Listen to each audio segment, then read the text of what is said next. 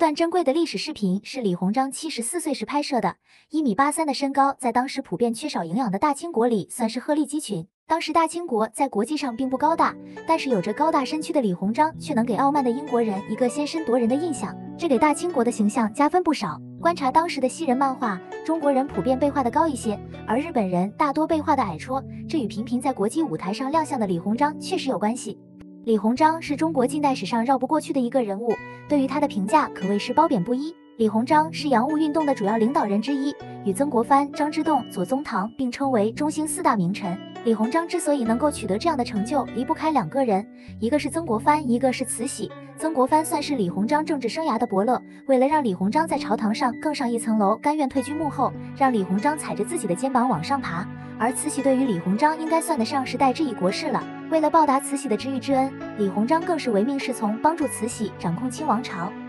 李鸿章一生有功也有过，他开展洋务运动，创办北洋水师。李鸿章在洋务运动中创造了很多中国历史上的第一，如中国的第一条铁路、第一座电报局、第一家西医院、第一座钢铁厂、第一座机器制造厂等等。但也因为耗巨资打造的北洋水师不堪一击，与各国列强签订一系列不平等条约，被后人诟病。但小编在这里替李鸿章抱个不平，在慈禧掌控的清王朝下，他也就是慈禧的代言人而已，一切的一切还不都是慈禧的决定吗？所以有人说李鸿章是在给慈禧背锅，也不无道理。